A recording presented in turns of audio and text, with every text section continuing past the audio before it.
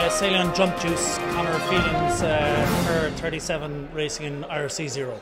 Great day today, very pleased with today. We had uh, we won the first race and we were second in the second race to the Ker 40 Keronimo, who's over from the UK, and that made up for yesterday, which was a pretty poor day. We had, I think, a fourth and a joint fourth yesterday, and yesterday's conditions were much, much lighter.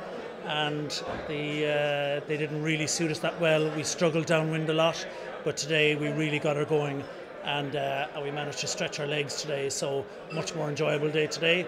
Norbert Reilly's Mills 37 Crazy Horse is a really really fast boat in light air. She's been really well sailed this week. And they got some really good guys on board. So they had a fantastic day yesterday, one and a two. We were really pleased that was, there was a bit more breeze today, which suited us a bit better. I think the Windward Leewards suit any race boat really you know they're generally designed for windward leewards for either going upwind or straight downwind and they generally don't reach very well. Whereas you'll actually find that some of the cruiser races type boats, so a lot of those boats like Connor Doyle's boat was going quite well today and, and Jod Gonkin's boat, so the round the cans would suit them a bit better.